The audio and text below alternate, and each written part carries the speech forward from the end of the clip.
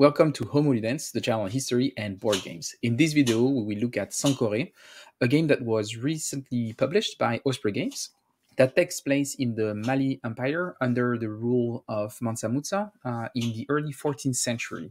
He was one of the richest and most powerful men in history, and his story is actually not that well known, I would say, or at least not at all portrayed in board games regularly. His reign was remarkable for the fact that Mansa Musa developed uh, quite an extensive trade network and had also a very profound um, cultural significance. Uh, and this is what uh, lays the groundwork for the theme of this game. Sankore itself uh, was an academic hub in Timbuktu and was a beacon of Islamic learning and scholarship, attracting scholars and intellectuals from all over the Islamic world.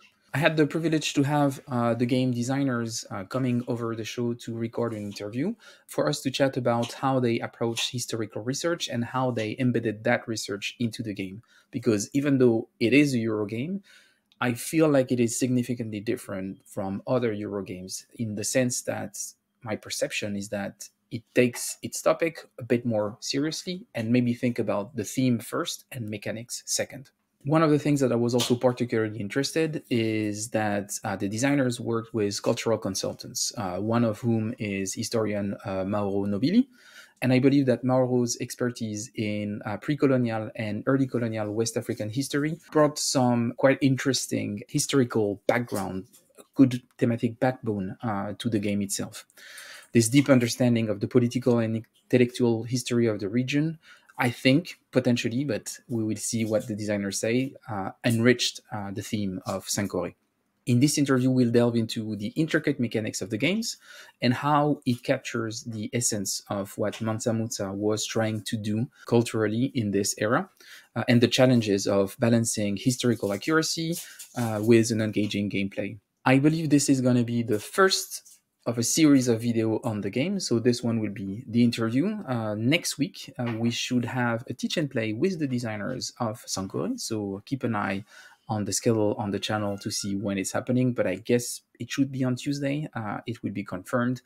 And you can follow me on Twitter to make sure that you don't miss anything. And if everything goes well, I might even do a video review, which might be unexpected. Haven't done in a while some of those, uh, but I decided that in 2024 I will come back to reviewing, uh, and this maybe might be the first one or the second, who knows.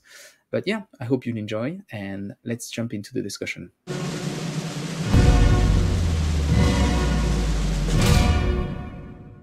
I'll start by saying, Mandela, Fabio, thanks a lot for taking the time for answering a few of my questions uh, regarding the historical context of Sankore, your latest game that was uh, released by Osprey Game.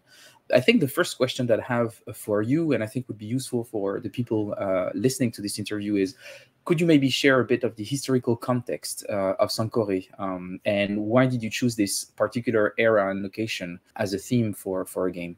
I think Fabio is in the in the Fabio? best position to start with that. Yeah. Sure. Yes, uh, I've always uh, been fascinated by history outside of Europe because, at school, I always always studied the, the European view of history, so later I discovered the rest of the world, and now I'm interested in what happened there. And so, like Merv, so Sankore was an interesting uh, subject, and so I wanted to make a game about uh, a different perspective of um, knowledge and science, and, uh, and so the University of Sankore looked like a good uh, opportunity. So there was this this uh, interest in maybe shifting away from, I would say, most of the Euro games that are focused on a very Eurocentric uh, vision of history to go and explore other moments. I think right. that that makes a, a, a lot of sense. And I was wondering, were there any particular challenges uh, you faced in depicting that period in terms of research, for example? Because I guess that maybe most of the documents that you had access to, even if they were not Eurocentric in their approach, might have been Europe, written by European scholars based on European sources. So, what were the types of challenges you were confronted in in approaching this topic? I think you've absolutely struck on one of the key issues in doing the research is not only are you limited in the sources that are available because you know some of those things just don't exist and maybe a lot of the histories are oral histories in particular areas uh, and there is some argument that's been made that some of the recorded histories as well are already even at the time uh, that they took place were infused with some kind of bias, particularly around Mansa Musa, for example. Um, some indication that maybe some of that's to to further particular uh, political ideals that people might have had in the area. So there's that issue on top of the fact that neither uh, Fabio nor I speak Arabic or read Arabic, so we're limited in the sources that we can access there immediately and easily. And a lot of those did come from European explorers. You know, Leo Africanus uh, is obviously written a lot there, and you can see through that that it's got this European slant to it. And so I think the the main way that we could overcome that, or at least keep that in check to some extent, was really by engaging with the cultural consultant and getting further into that people that directly engaged with the local communities and could read more of the source texts and had read more of the source texts and understood the different arguments on the side of which which history held greater truth uh, through those. Did you work with multiple uh, cultural consultants, or uh, so? How did it work? And did Osprey took part in putting you in contact, or was it uh, mostly on yeah. your side that you? So it was. Uh, it is both. Yes. Yeah. So we had two cultural consultants involved in the project. Uh, one of those initially we managed to contact because we reached out basically looking at the sources that we had used and seemed to be most informed about the Timbuktu manuscripts and what was going on in Sankore uh, in modern times, really. So following that through, and I think initially it was possibly an article in the Guardian that was about the the smuggling of manuscripts out to Bamako. Uh, from Sankore, because for those that don't know, there's been some terrorist activity that persists in Timbuktu that has led to the destruction of many of the manuscripts. And so there's a an ongoing effort to try and preserve those the best way possible. And through those articles, uh, we reached out you know, just kind of blindly following leads there, saying to the authors, you know, where did you get uh, these kind of bits of information? What are the best sources where we can get that? And through that, we got uh, put in contact with someone called Mauro uh, Nobili, who, you know, we, I, I'm kind of in shock as to how well suited his expertise was to our interests. Uh, you know, he has written a book on the Islamic manuscripts of sub-Saharan Africa with a particular interest in Mali, for example. You know, so so this was really something that overlaps mm. strongly with his interests and expertise. So we got him on board and managed to pick his brains quite extensively and discuss with him what we were doing, which was something he was uh, very excited and supportive of, which was great. So in that early stage, um, in that earlier stage, yeah, we had his input, and then when Osprey came on board and had made very clear that they were willing to respect and put some time into having that setting, having those cultures depicted appropriately, they brought on another uh, consultant, Zain Alam, who gave his thoughts on the uh, veracity and the sensitivity around the depiction of Islam, for example, uh, also thinking about not only historical accuracy but how uh, modern, you know, practitioners hmm. might feel about the depiction there. Mandela, was it your first time working with cultural consultants on a game? Uh, yes, yeah, yeah, that was. And, and and Fabio, was it the same for you? Was it the uh, first no, time you worked? We already no? worked with consultants both for uh, Merv and for Zapotec. Yeah. So it's now kind of a normal thing to do.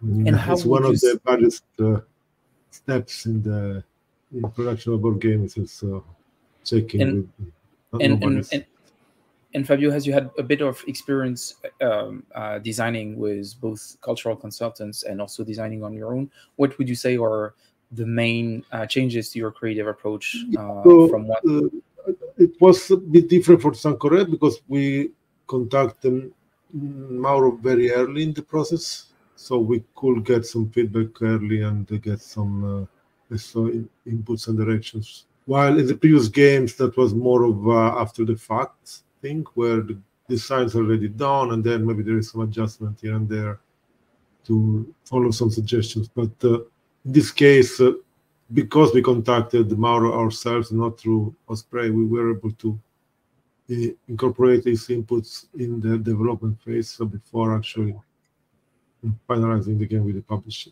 So Yeah. So he really ha- he really took part in the in the creative process, which is which is super interesting in well, a way. Yeah. We, we we show them we show him what we were doing, and we asked for uh, you know, clarifications, inputs, directions. He was very excited to help. Was uh, uh, happy that uh, a very obscure mm. corner of history he's working on is actually getting some uh, you know, publicity. So. So. and I have a question because I, have I've uh, I've known a bit about this history for for for a while, um, and I was wondering there is no reason for that part of history to be that obscure. Uh, like Mansa Musa was a pretty spectacular right. and unique character, uh, and I was wondering why do you think this story is that obscure for us? Well, such a not... powerful man. Yeah, yeah. I mean, the Mansa Musa is kind of uh, almost a mythical figure, so people know about them, But uh, like Timbuktu is a shorthand for something very far away, and nobody knows where it is. at least in my experience uh, uh, at school, we have already uh, not enough time to cover our own history. So I understand why we don't study much about the others. But uh, that's one one problem because school focus too much on uh, the local history and doesn't put things in context. That's why most people don't know much about what happened outside of Europe, in Europe or outside of America, in America and so on. Mm. Yeah, I think also it's almost like uh, what you alluded to in that Mansa Musa was quite a fantastical figure in history.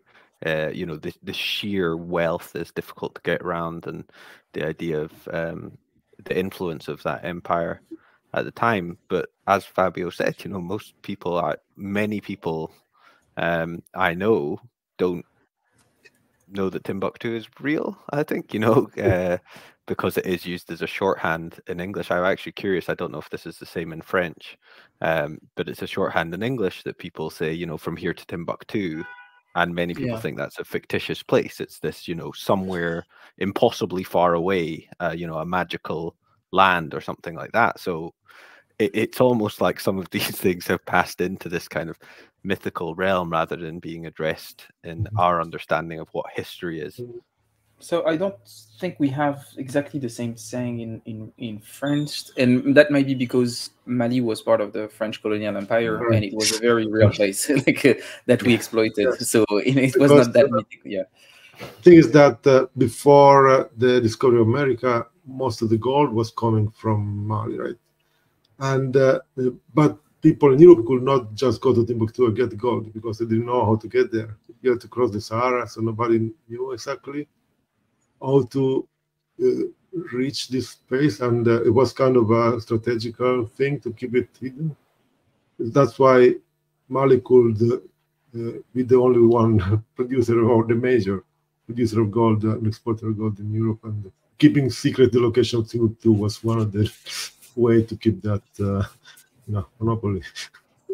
and and maybe to start bringing the conversation more towards uh, the connection between history and design we're talking about the the figure the unique figure of mansa musa that we said is not that well known in the western world or is more almost seen as a mythological figure but he did have actually actual historical achievement that are quite noteworthy. And i was wondering how did you approach representing his presence in the game? Like he is clearly here with the system of favors and everything but how did you want to represent him and and what what went into the like the design work to to to represent the achievements of that of that very real person? Well, I, I, would say Mansa Musa is both notably absent from the game, uh, but also notably present in the game in in the way that you mentioned through this system of favors. You're interacting, you know, it, the depiction of him is there in the law area that he's clearly having this influence, and ultimately it's Musa that you're trying to win win favor of throughout the game, uh, and it's driven that way. Earlier on in the design, we were quite keen to have him represented in a more literal way through the game, and we tried that through different approaches. You know, even considering whether his uh, journey, his uh, travels to Mecca should be depicted in some way with a physical sort of Mansa Musa moving across the board, whether he should be present, sort of observing different actions that were taking place. So we were initially quite interested, and this is where you get a bit of conflict with the design and what we could achieve in that whilst keeping it still an engaging game that had sufficient strategy and so on through it. So what we did ultimately is take Musa as a as a sort of avatar is no longer in the game, but I think as you have alluded to, his presence is very much there. Uh, just to to to build up on this, and that I think it's also something that struck me really when I when I opened the box and started reading the rule book and figuring out the game is from my experience. So I'm mostly a historical gamer, so I play mostly games that are really heavily focused on history. It's more of a niche hobby, and when I open games like this, usually what I will see in Euro games is that and I love Euro games, just to be clear, that what I mostly see is people who are um, designers who are working on mechanics first and then figuring out or maybe have some sort of inspiration of what could be the theme that could fit, that could be a good aesthetic to to package the, the mechanics. When I played this game, I felt something and I might be wrong, but I felt something quite different in nature, in the sense that I really felt like the theme was the foundation for a lot of the way you approach the mechanics and the dynamic between all the different mechanics.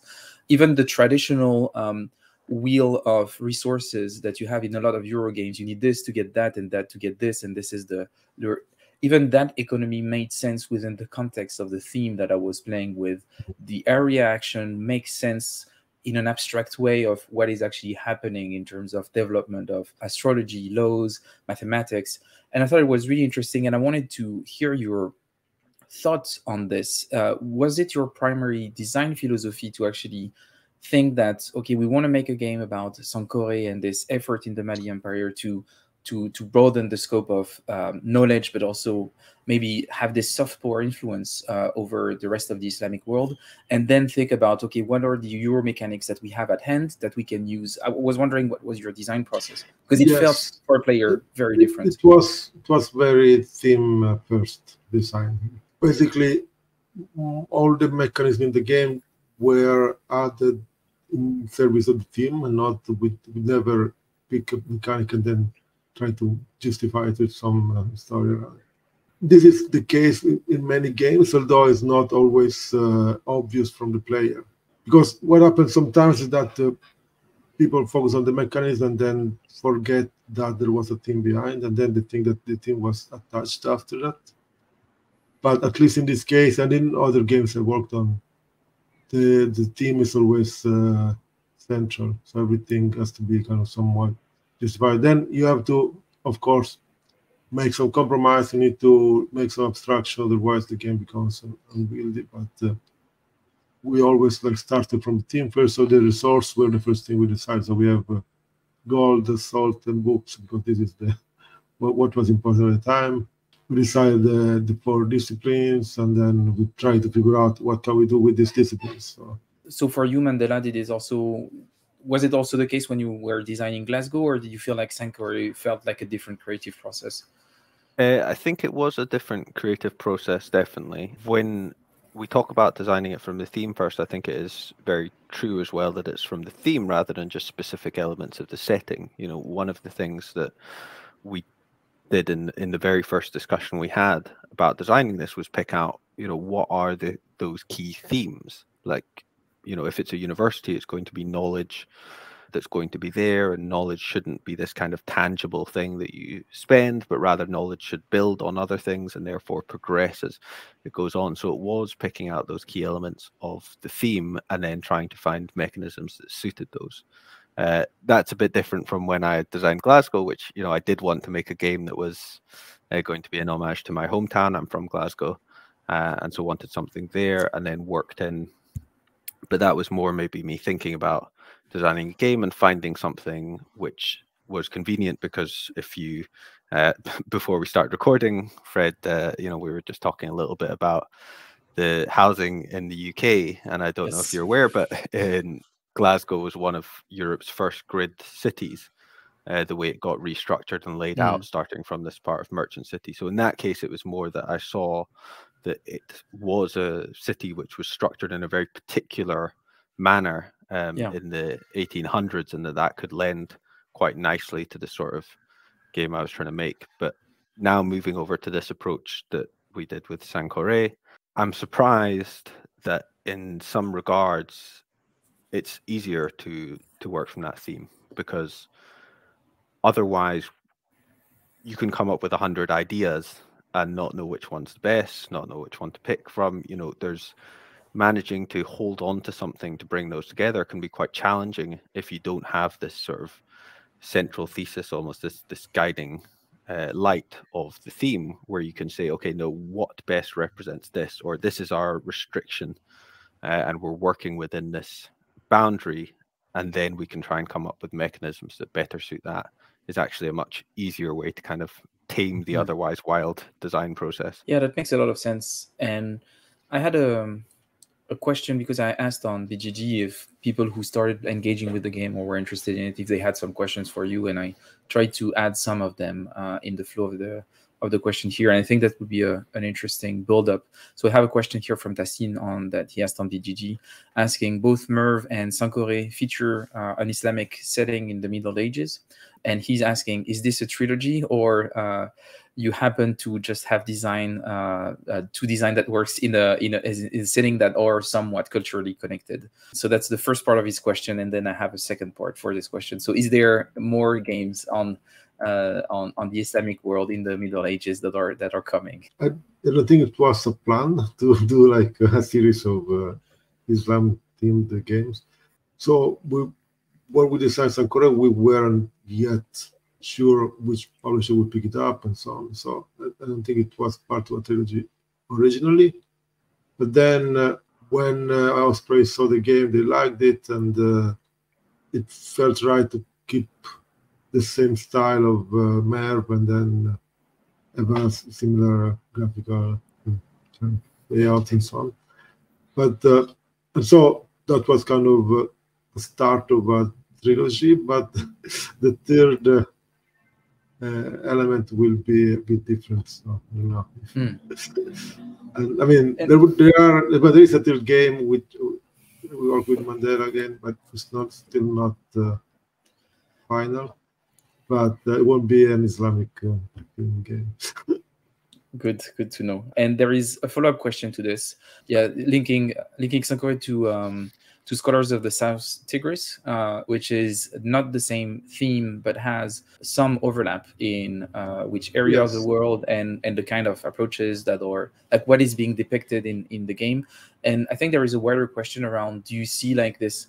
Interesting evolution in uh, what Eurogames uh, are covering overall, maybe a bit less uh, colonialism process like you would see in Puerto Rico, and actually exploring other histories in in, in new ways. Do you th- think that there is a like a wider movement overall? Well, it's more or less forced, but yes, because I don't think uh, um, you know that period is tricky to deal with, and uh, it's uh, not I don't see many more games based on colonialism or like Western uh, centric views. Uh, putting forward. Uh, you, you would be surprised so. that there are. There I would be surprised if, keep, yeah. I don't know, but uh, uh, it feels like uh, this is now over. yeah. Okay, so yeah, it's the end of a of an era. Okay, let's hope you're yeah, right. I mean, not, I'm not convinced, no. it's yeah. like there is a more sensibility now for these things that there was like 10 years ago. Yeah, that's true. Uh, it's quite different. And uh, maybe to close on the topic of uh, Mansa Musa, so his initiative was to expand the soft power of the Empire of Mali. And we play as players, as people who are working toward that uh, goal. Would you say that historically he actually achieved in that endeavor of uh, making uh, the Mali Empire shine through the Islamic world, or what, what was the the actual historical outcome of the game? You could say. Well, it lasted un, un, until he lasted. Then uh, his uh, progenies didn't do as well. So. So it's, so it's so players have to keep this in mind. It might be all for nothing. That's what that's what you're saying. Right, but uh, I mean, the University of Sankore still exists. So at least, uh, pro, I mean, go there two things. There is the, the glory of the empire in a way, which went up and down but then there is also the prestige of the university, which is still going on because the university has still been working for like thousand years. One way to look at the game is that uh, Mansa Musa goes to Mecca uh, and on his way back decided he wants to increase the prestige of the University of Sankore. So he brings some scholars from uh, Cairo, from uh, Alexandria, and you know, all the other places, and bring them to uh, Sankore to improve the school. So the players are the scholars that come from other universities to increase, improve the prestige of uh, Sankore. And then at the end of the game, the prestige of Sankore was higher than at the start because there have been lots of achievements. So from the player's point of view, this is okay. Like they are scholars, they're teaching and they're getting their students graduated. Then what happened to Mali after that is not there. Uh, there was there was something you hinted uh, towards uh, Fabio when we are talking about Merv, and that's the, the, the graphical connection. And I was really mm-hmm. interested to talk about the visual art of it. So of course, Ian O'Toole has been working on this. I think his work is pretty amazing on, yes. on on this one. It's quite fascinating. But I was also wondering, how did you work with Ian uh, to guide him in making sure that the vision uh, that you had for the game and the setting actually came to life? When you see the game you see that there is a lot of care like it feels like there is a lot of care in the in the graphical depiction. How did this process went? Because it's slightly different than pure game design. We're really talking about the aesthetics but it really feels like the aesthetics are serving the the, the theme of the game. So how was that relationship? Yes well it was uh, indirected in a way because uh, basically the publisher in the end is the one giving a brief to the illustrator to do the illustration of the graphic design so we were involved in how this brief was prepared and sent to Ian. And then, yes, we had some feedback on his early proofs, and uh, but we didn't. I mean, it's not uh, under the control of the designer. Most of it is under the control of the publisher.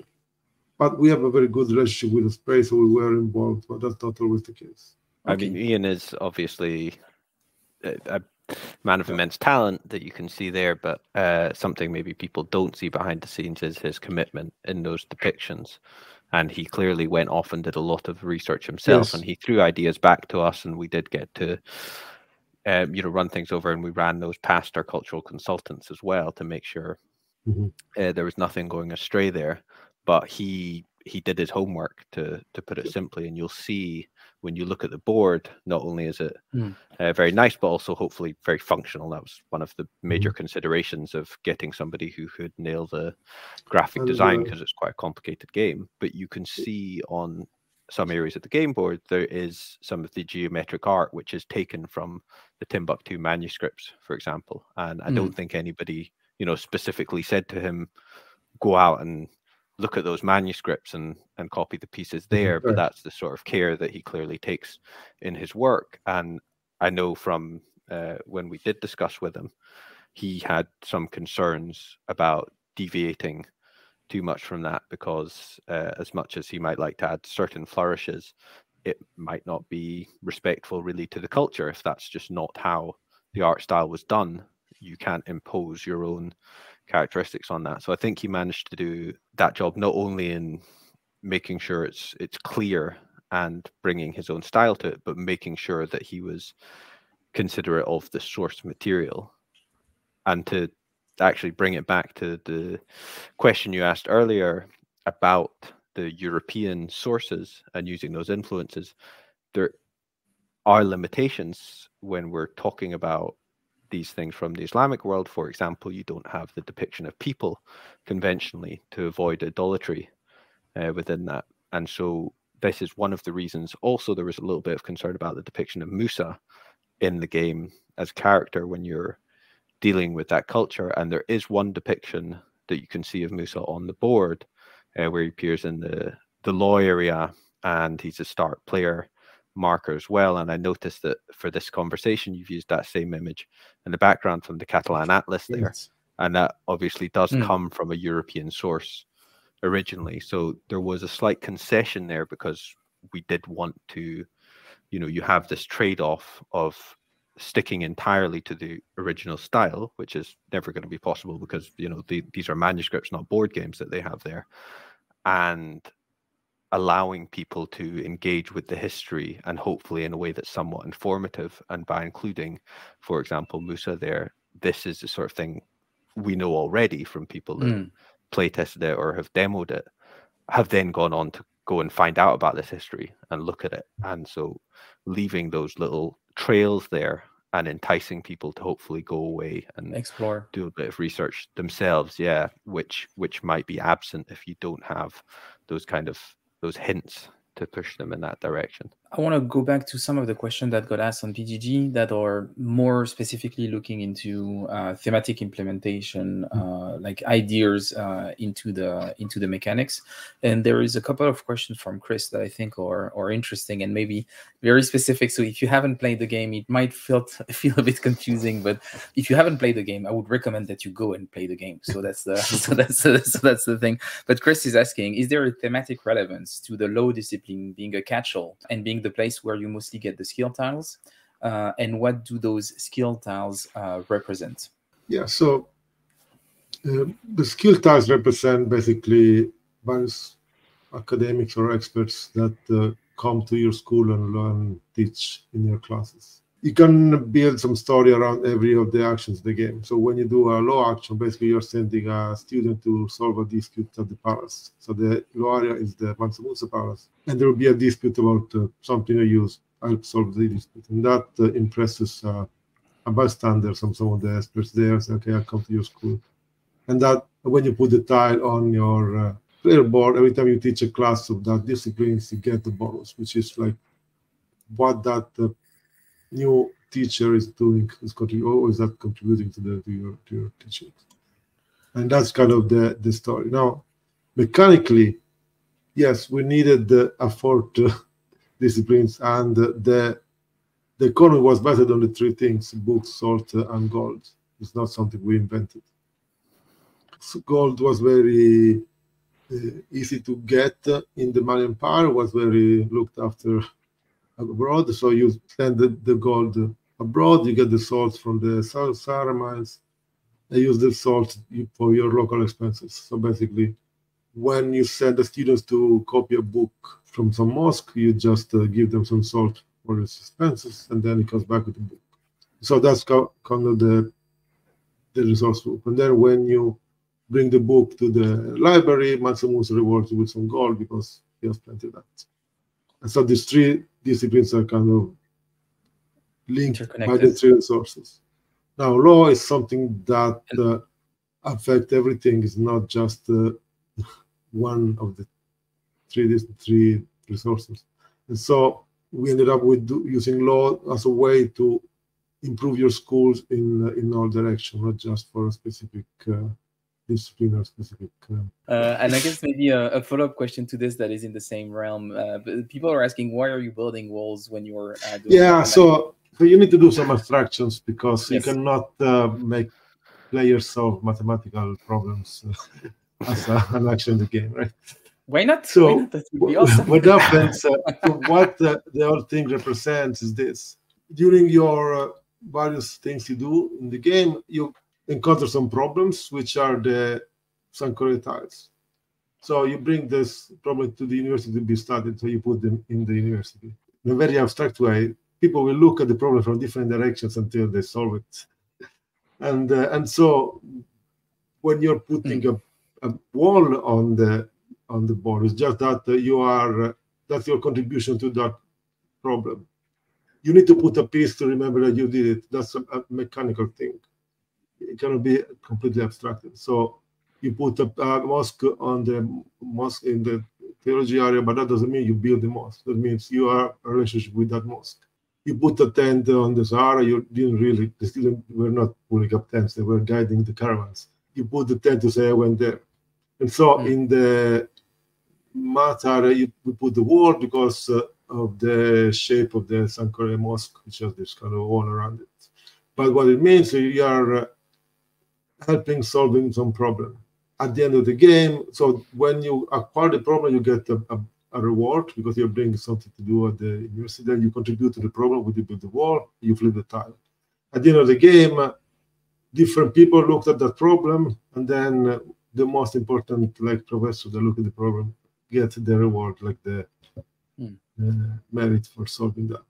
That's like the very abstract thing that's happening beyond the mechanical put a piece and uh, count the numbers, right? Yeah.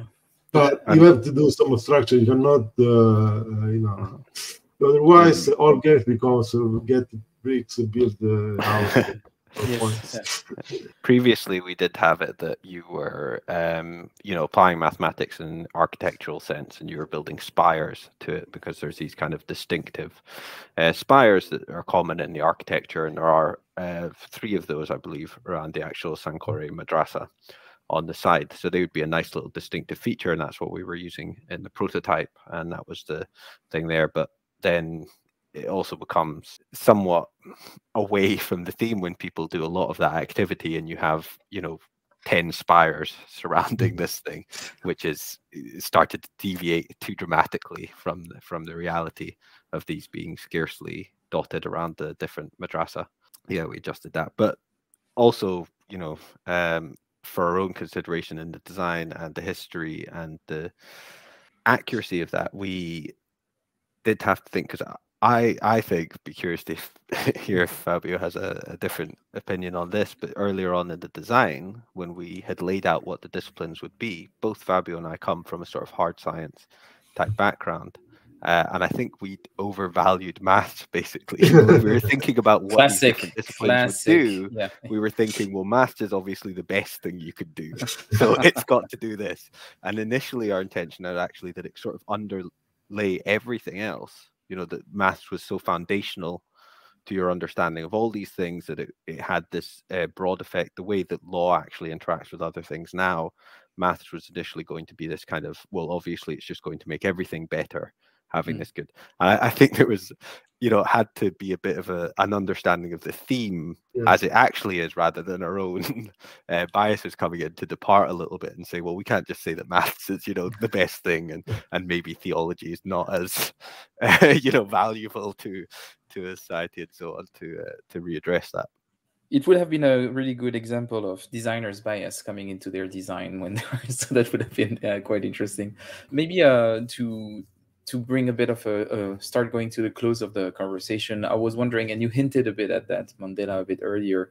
What do you hope that the players take away from uh, the experience of uh, playing this game in terms of mostly historical understanding of just generating the curiosity? What do you hope that happens after a good game of, of or a few games of Sankore?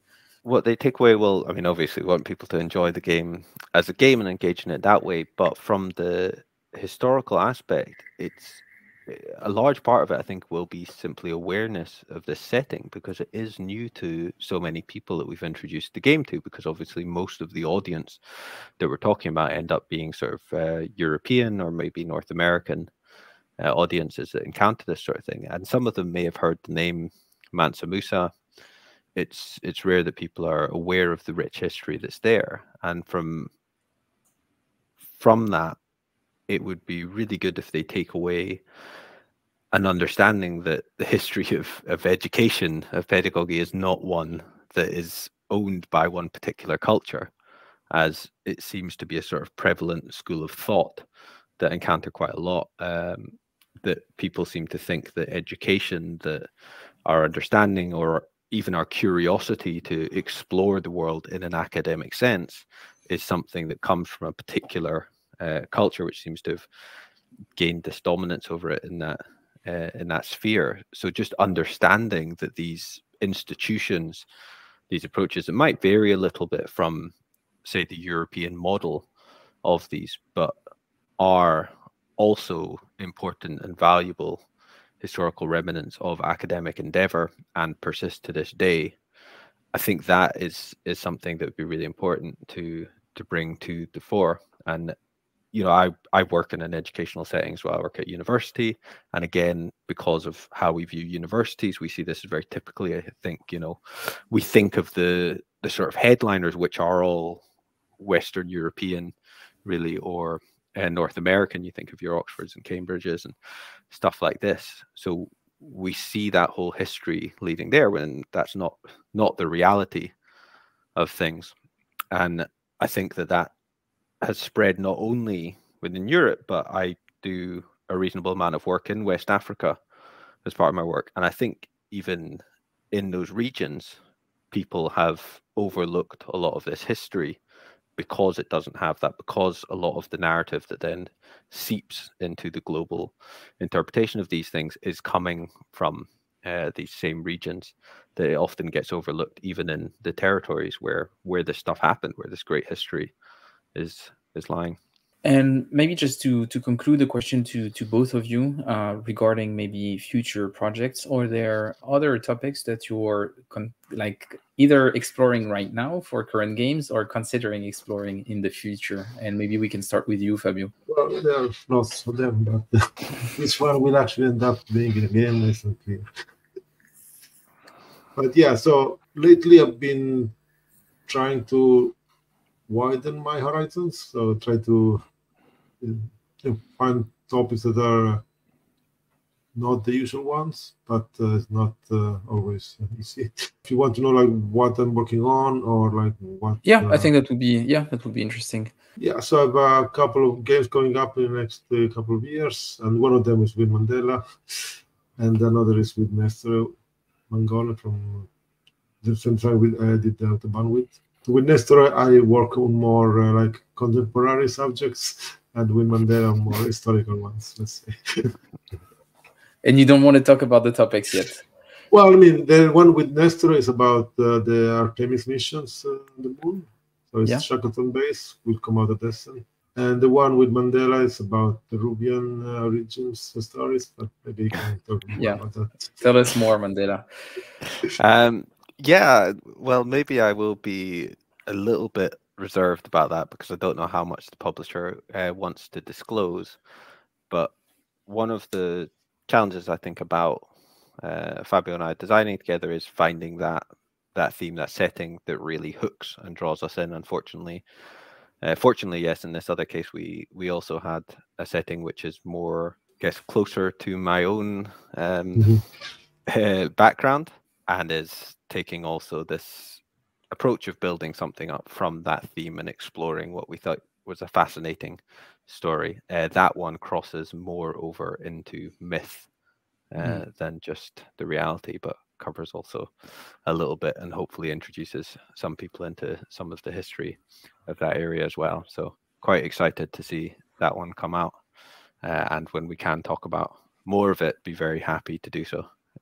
Yeah, and I hope you'll be back on the show to talk about it. That would be great. Thanks for saying without saying too much. I guess uh, that should keep the publisher happy. This is what we want. But it was it was a great chat. Thanks a lot for for that open conversation about all this. Uh, it was super interesting. Are there maybe any other last thing that you want to say before I end the recording, or we're good? I think just thank you. Yeah, for yeah, you're very welcome.